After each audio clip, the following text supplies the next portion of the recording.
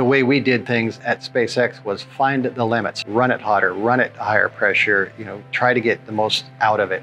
Find out what breaks, fix that, and then go even higher. My name is Tom Mueller. I've been a rocket propulsion development engineer for 35 years, and I'm the founder and CEO of Impulse Space. When I started in 1985, El Segundo back then was like the big aerospace, Raytheon, you know, Boeing Space Systems, and all these other uh, aerospace companies. When we started SpaceX, Elon said, we're going to have the building somewhere right here in the South Bay. This is the place to hire talent.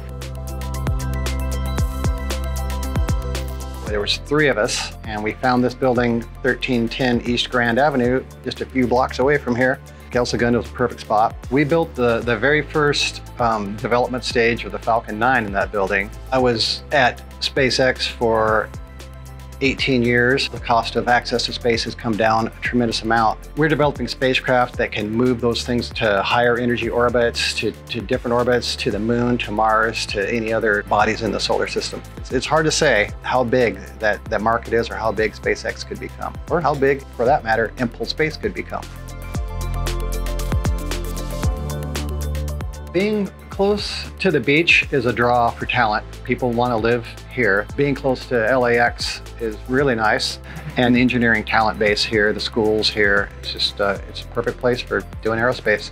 I always said you couldn't throw a rock here in El Segundo without hitting a, another SpaceX founded company.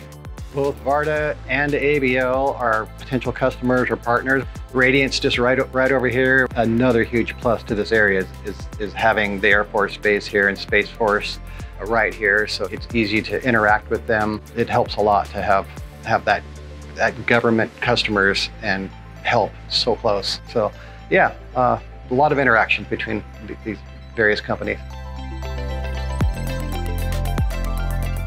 When we started SpaceX, it was a completely different vibe than it is now because aerospace as a tech company was brand new. Traditional aerospace is pretty risk adverse we had to kind of train them the, the SpaceX way, like run it hard, break it, fix it, get it reliable, get it very efficient. The rocket is industry leading because of the run it hotter mentality. Everybody that we had early on, because they had equity in the company, was excited about it and motivated and we worked long hours and, and achieved a lot. Just proving that ownership of the company is the right, right way to succeed.